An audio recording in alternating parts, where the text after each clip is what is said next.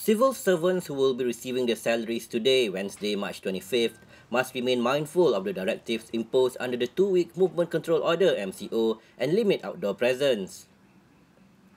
The MCO enters its eighth day today, and common practice on payday suggests that many Malaysians would be making a beeline to the automated teller machines ATMs and to supermarkets and public markets for essentials.